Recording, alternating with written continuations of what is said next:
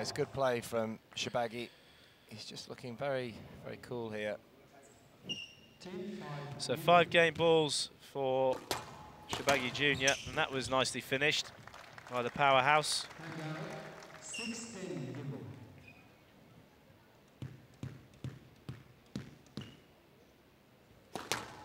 Oh, that was close to being a fault.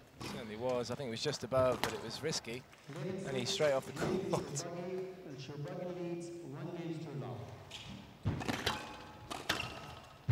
And Meguid re replying that uh, the ball is wet, but uh, he is taking a little bit more time than perhaps. Uh, I don't want to start talking about that and uh, start to see skidders. He says commentators don't sweat, Parky. At least you're not having to go out there on, uh, on camera. Just dabbed me with a towel. It's going to be a stroke, obviously. Stroke to Shorbagy, hand out, 7 all. Well, it's impressive from Shorbagy. He's just getting on with his business here against a difficult opponent. Big man on the squash court, but a clever squash player, but that's not very clever. It's a stroke to to So with that stroke, 11 7. Marwan El Shorbagy going off court after 22 minutes. Crowd very, very uh, quiet here in this Egyptian battle. So Marwan El Shorbagy leading two games to love.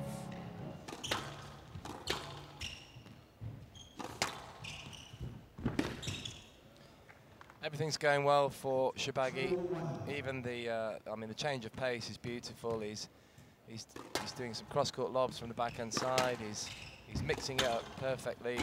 He's getting the ball running, using disguise and delay, and it's too much for Meguid. 5 1.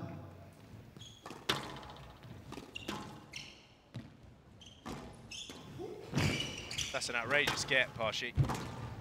Certainly was for someone of his size. Oh, wow. wow, that was unbelievable. That was uh, the best rally we've seen He pounced on that one, Joey. this third match.